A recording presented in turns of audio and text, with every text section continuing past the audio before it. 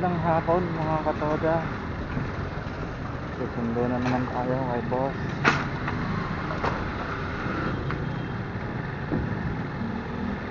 Mga katoda Ito, may bago tayong trending Sa Facebook Sa mga social media.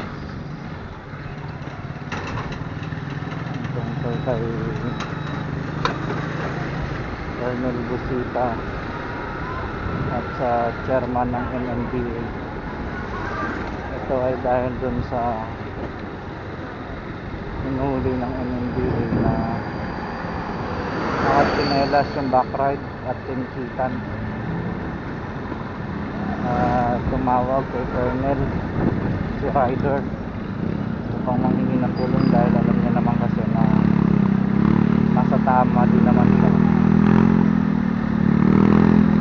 So, minasama ng chairman ng MMDA mag-post ng mas medyo personal na salita kay Colonel. Kaya guys, kung may uh, comment kayo guys tungkol dun, mga katoda tungkol dun sa trending na yun comment kayo dito sa reaction ko bago nga pala yan syempre intro muna tayo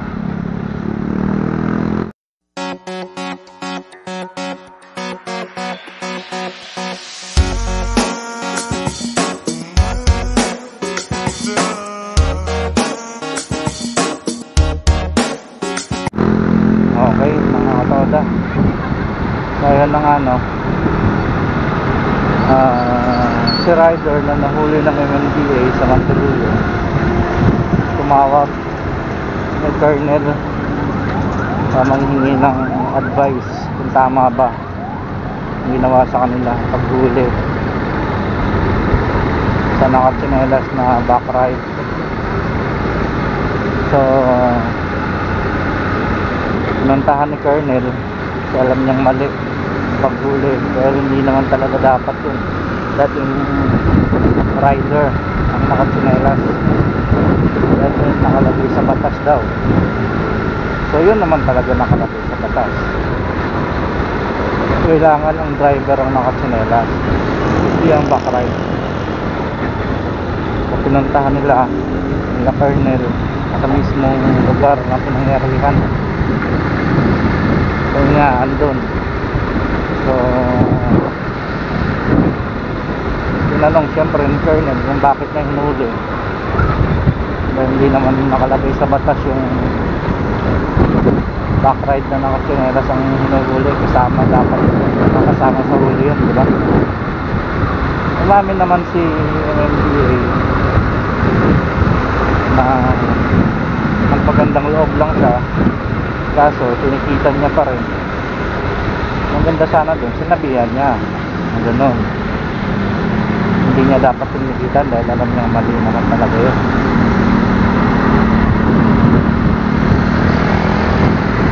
So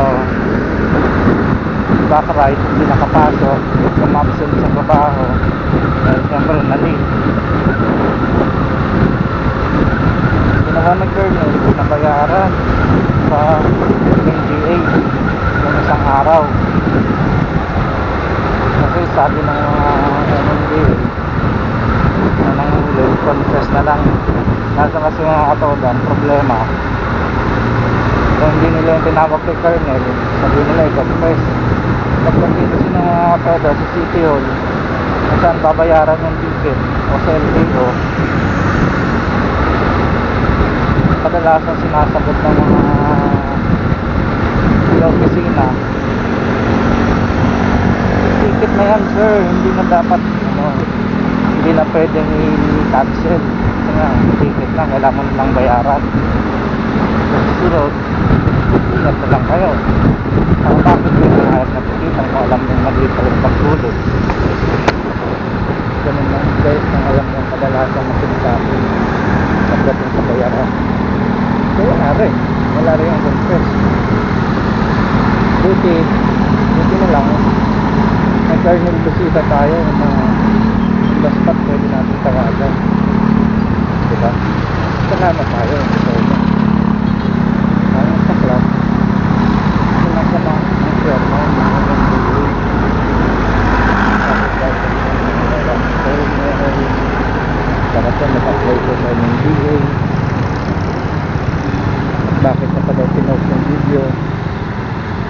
Nakiusap naman daw yung NNDA na ng huli na huwag na i-post. Pero ito sa video, parang mga pwede parang wala namang ano diba? Wala namang sinabi yung hindi na huwag na i-post yung video. Kaya kalahin ba naman natin ito friend Sabagay. Kaya nga naman, lahat naman ng video ni Tony, ito friend din talaga. Dahil nga, sa tama lang talaga. Sa sa ating mga rider ko lang, ito friend din na talaga. yun. Sa dami natin. Halos lahat, supporters na ni Tony.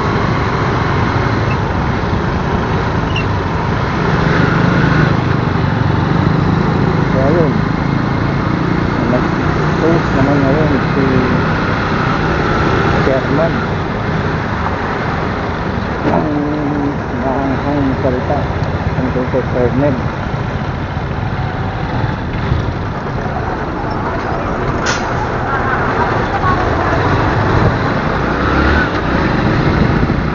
Ah, ayun. Yun yung mainit na ano ngayon palitan si Colonel hindi wala pang sinasabi. Tungkol dun.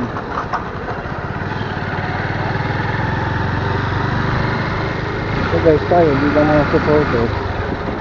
Supportahan din natin si Colonel. Diba?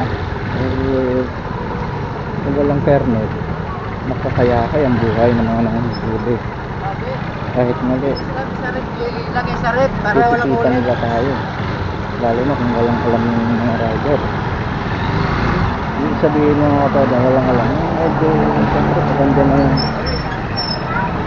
maganda na yung ulihan. Titikita na, wala na eh. Nagbiblangko na tayo eh.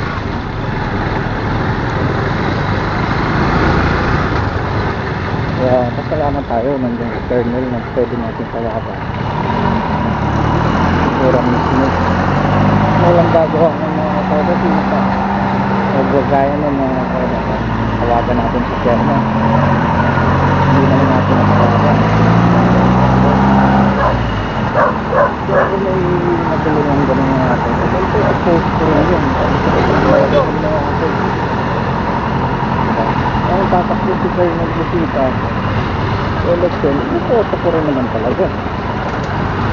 Kaya nakikita na natin ano yung tulong na ginagawa niya sa ating mga rider. Hindi yung talaga yung pangako. At kasi nung tapos yung bukahan, hindi makagilap. At least ikaw yun. Hindi pa tumatakbo. Nalalapitan mo na. Diba? sana lang tayo mahingit sa mga ganon sa mga tumutulong ikaw ba chairman ba pinapakailaman ba siya ni Colonel hindi naman di ba napakailaman ba lang ni Colonel yung mali ang nagawa yun lang naman yun. Wala sa batas. Huwag mong gawin. Para hindi ka mga sabihang ano. Masama ka. Kaya lang guys yung ano ko. Mm, comment ko. Na-reaction ko. Tungkol dun sa trending ngayon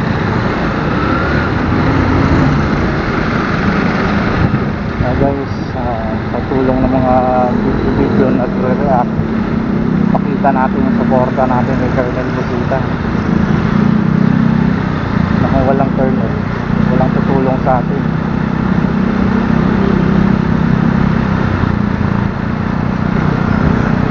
Alright guys mga toda uh, huwag nyo lang pong kalimutan mag like comment at mag subscribe sa aking youtube maraming salamat sa panonood sana hindi na tumagal ang uh, viral na yan ang video. Tungkol kay Colonel. Kaya natapos na at ah, walang samaan ng loob. At pare-parehas gustong mapabuti lahat lahat ng rider. Tulong-tulong na lang tayo mga toda